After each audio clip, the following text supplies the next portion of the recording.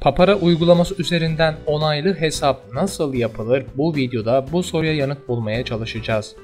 Hesabınız onaylı değilse Papara uygulaması üzerinden herhangi bir işlem yapmaya çalıştığınızda hesabı onayla. Bu işlemi gerçekleştirebilmek için onaylı hesap sahibi olmalısın. Kimlik bilgilerini girerek onaylı hesaba geçebilirsin, bildirimi alacaksın. Bu bildirimi aldığınızda hesabı onayla butonu görünecek. Buraya tıklayın. Daha sonra sizden nüfus cüzdanı, yeni kimlik kartı, yabancı kimlik kartı seçenekleri yer alacaktır.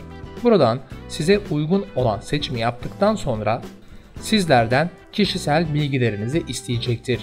Burada isim, soyisim, TC kimlik numarası, kimlik kartınızda bulunan seri numarası ve doğum tarihi bilgileri.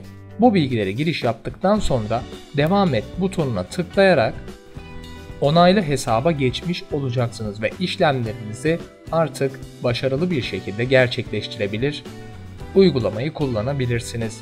İşlem bu kadar kolay ve basit. Umarız bu video sizler için yararlı olmuştur. Videoyu beğenmeyi ve kanalımıza abone olmayı unutmayın.